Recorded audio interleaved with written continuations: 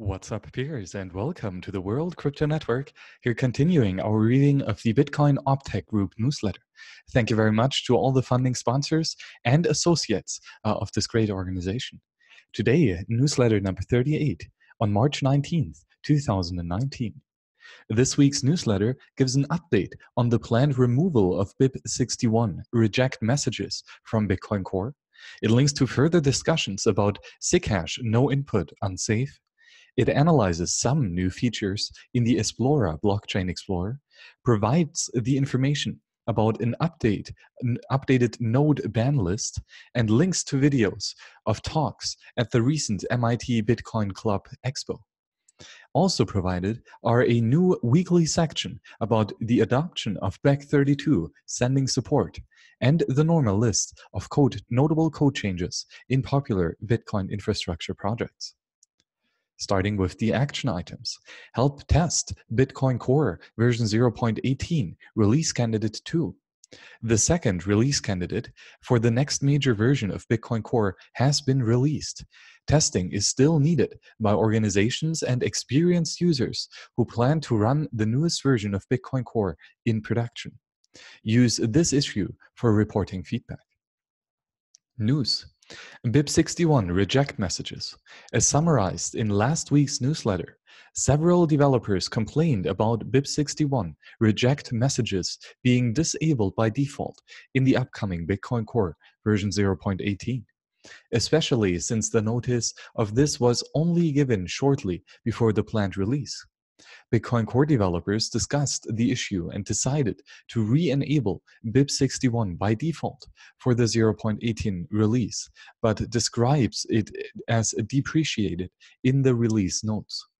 They plan to disable it by default in 0.19, expected around October 2019, and probably remove it either then or at some later point. The mailing list moves as announced on each list, the Bitcoin Dev and Lightning Dev mailing list will be moving to groups.io discussion hosting services in the near future. The list will remain oper operable uh, at the current addresses until the migration is complete, at which point subscribers should receive a notification. If you don't want groups.io to learn your subscriber information, you should unsubscribe from the list immediately. You do not need to create a groups.io account at this time. More discussion about SIG-hash no input unsafe.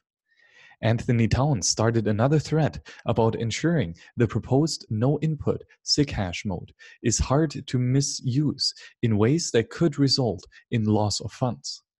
No input can enable an alternative on-chain enforcement layer for Lightning Network that's more suitable uh, for channels with multiple participants, ultimately allowing a greater number of channels to be opened in the same amount of block space. Towns describes a reasonably plausible worst case scenario where failure to ensure no input safety puts adoption on of other valuable protocols features at risk. To avoid that happening, he, pro he proposes refinements to earlier ideas about output tagging, see newsletter 34, and a new alternative that would require every transaction with a signature that uses no input to also contain a signature that does not use no input. This would prevent third parties from executing replay attacks without or with no input transactions. But it would mean that the most efficient use of Taproot could be used and so would result in moderately large transaction sizes when no input was being used. A Esplora update Nadav Ivgi announced an update of this open source blockchain explorer. See our coverage of its initial release in November uh, in newsletter 25. Unconfirmed transactions are now displayed with an estimate of how long it will take them to confirm given current network conditions, or an overpayment warning if, the pay, if they pay more than necessary to be confirmed quickly. Perhaps more notably, the details view for both confirmed and unconfirmed transactions provides an analysis of the feature and anti-features used or omitted from the transaction. For example, use of SegWit, address reuse, inconstant output precision, matching an unnecessary input heuristic, inconsistent input or output script types, and changeless transactions. After seeing the new changes, Ryan Havar raised some concerns on Reddit about the possible, uh, the possibly high rates of false positive privacy warnings, leading uh, to him opening an issue in the Esplora's GitHub about the problem. Attempting to address these concerns, Ivgi started a conversation with several Bitcoin Core developers.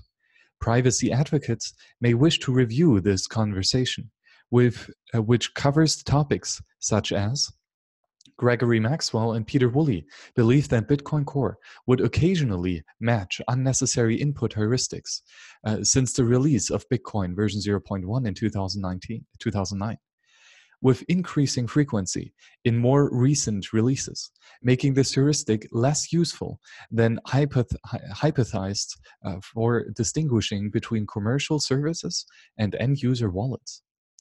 Bitcoin Core's coin selection updates over the past two releases allow it to frequently produce transactions without change outputs. These transactions are more efficient and more privacy preserving than transactions with change.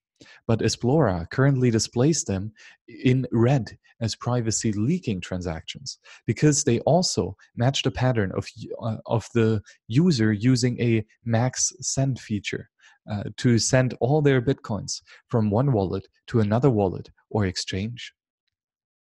Maxwell proposed that a useful addition to the privacy analysis would be identifying when a user controlled multiple UTXOs received to the same address, but only send a transaction spending a subset of those UTXOs.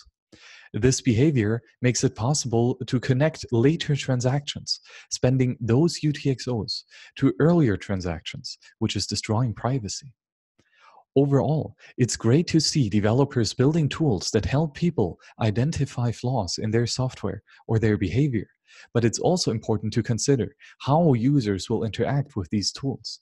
As Wuille said near the end of the conversation, I'm sure happy that there is a decent explorer for now and now for debugging stuff out there, but I'm concerned about making it sound like it's an actual production tool. I know people will use explorers, and one that gives good information is better than one that confuses everything. But really, we should not encourage using it.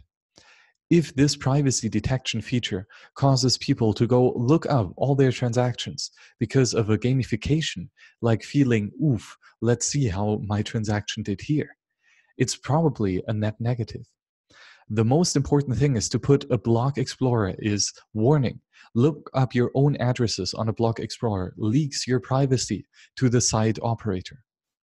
Very important notice. SpyNode ban list updated.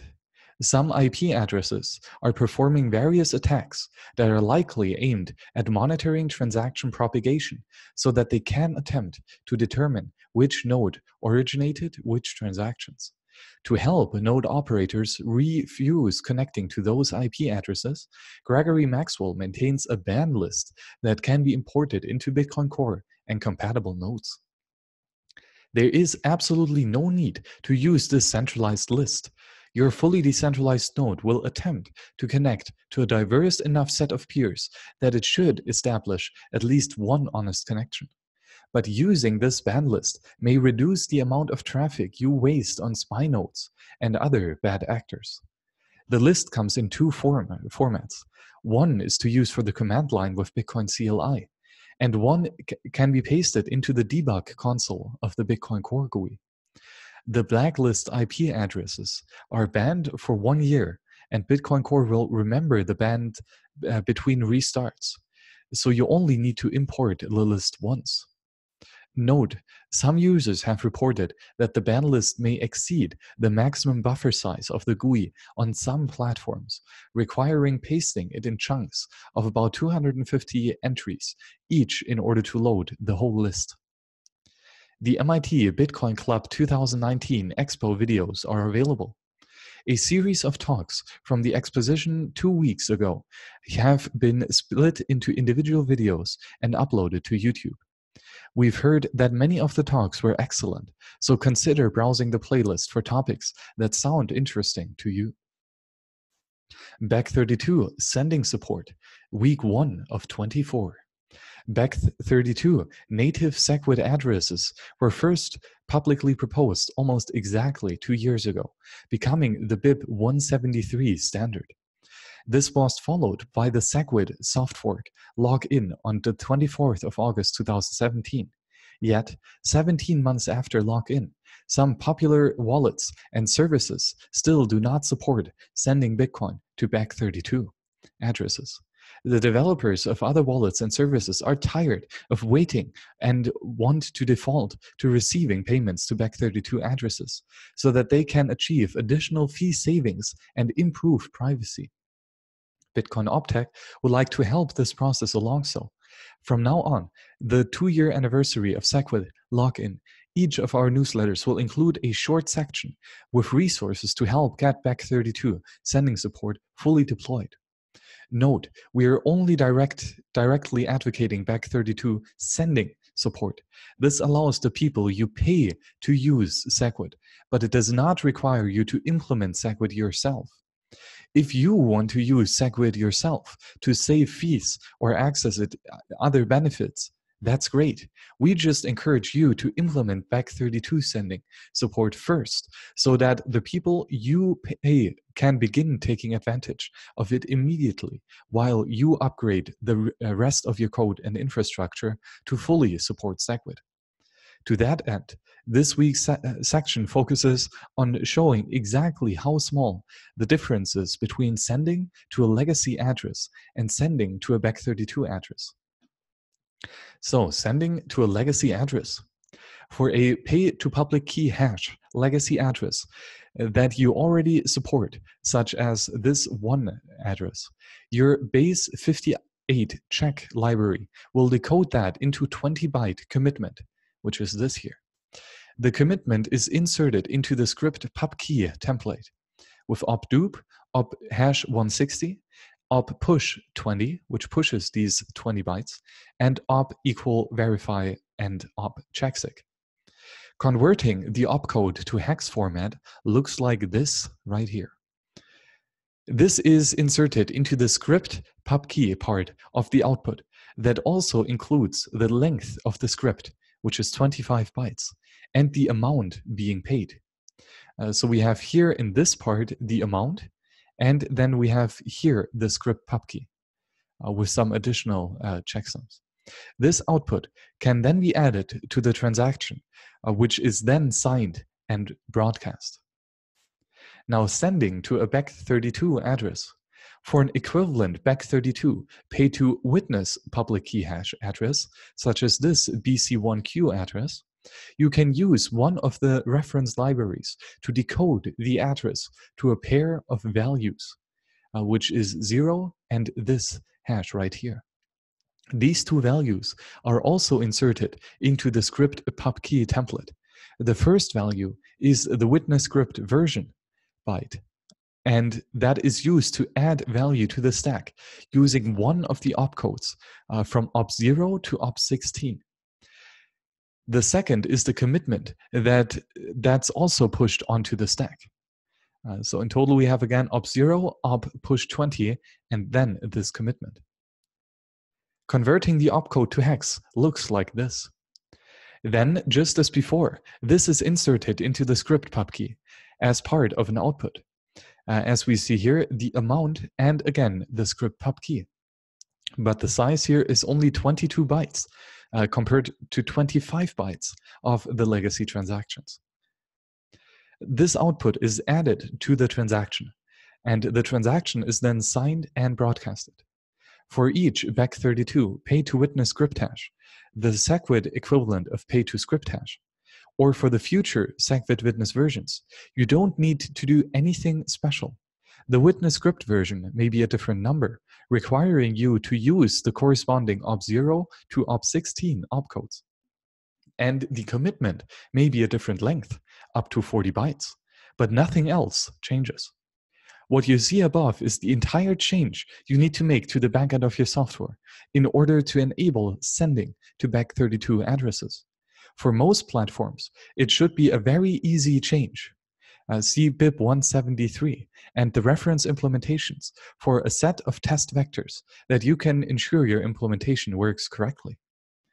And next up, we have the notable code and documentation changes uh, this week in Bitcoin Core, LND, C Lightning, Eclair, libsecp256k1, and the Bitcoin improvement proposals. This LND change allows the creation of the hold invoices. Uh, these are the standard Lightning Network invoices that are pro processed differently when the payment is received. Instead of the receiver immediately returning the payment pre-image in order to claim the paid funds. The receiver delays up until the maximum allowed by the payment time lock. This allows the receiver to accept or reject the payment subsequent to knowing that the money is available. For example, Alice could automatically generate hold invoices to her website, but wait until a customer actually paid before searching uh, her inventory for the request item. This would give her the chance to cancel the payment if she could not deliver. Other examples use cases are provided in the pull request's main description. This LND change implements most of the code necessary for an initial version of the Watchtower client support that will allow a Lightning Network node to pair with a private Watchtower to send it encrypted state backups the Watchtower can monitor the blockchain for attempted channel contract breaches and submit the breach remedy, the justice transaction, that prevents the honest party from losing funds. See the notable code changes section of our previous newsletters of coverage on the of the commitment implementation of the server-side Watchtower changes. And these are newsletters 7, 19, 22, and 30. And we have this C Lightning change, which adds a new set channel fee RPC that allows the user to set the fee rate for each of their channel individually. And peers, you gotta subscribe to the Bitcoin Optech newsletter, which is, of course, a awesome, awesome organization that provides a awesome wealth of knowledge. Uh, so thank you very much to the contributors, and thank you for subscribing to the Bitcoin Optech newsletter and the World Crypto Network. Peers, see you on the next show. Bye bye.